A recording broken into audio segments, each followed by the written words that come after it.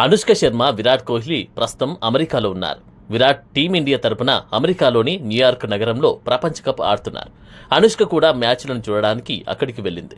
విరాట్ కోహ్లీ పాకిస్తాన్తో ఆడిన మ్యాచ్లో అంతగా పర్ఫామ్ చేయలేదు. పాకిస్తాన్తో జరిగిన మ్యాచ్లో మూడు బంతుల్లో నాలుగు పరుగులు మాత్రమే చేశాడు.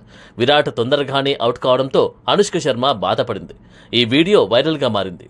పాకిస్తాన్తో జరిగిన మ్యాచ్లో విరాట్ కోహ్లీ మైదానంలోకి అడుగుపెట్టగానే బౌండరీ బాదాడు. ఆ తర్వాత అవుట్ అయ్యాడు. దీంతో విరాట్ కోహ్లీ అభిమానులు విషాదంలో మునిగిపోయారు. అనుష్క శర్మ కూడా చాలా బాధపడింది. ఈ ఫోటో వీడియో వైరల్గా మారే టాస్ గెలిచిన పాకిస్తాన్ ముందుగా బౌలింగ్ ఎంచుకుంది. భారత జట్టు ఆశించిన స్కోర్ చేయలేకపోయింది.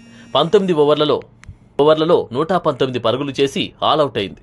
పాకిస్తాన్కు మంచి ఆరంభం లభించింది.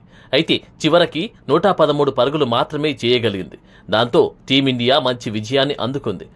అనుష్క శర్మ ఇటీవల న్యూయార్క్ నగరంలో కనిపించారు. అందరూ అతనితో సెల్ఫీ దిగేందుకు ఎగబడ్డారు.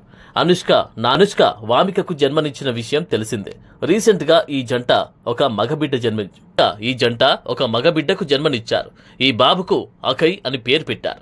సోషల్ మీడియాలో యాక్టివ్గా ఉండే అనుష్క రెగ్యులర్గా తన ఫ్యామిలీ ఫోటోలు వీడియోలు షేర్ చేస్తూ అభిమానులను ఆకట్టుకుంటుంది.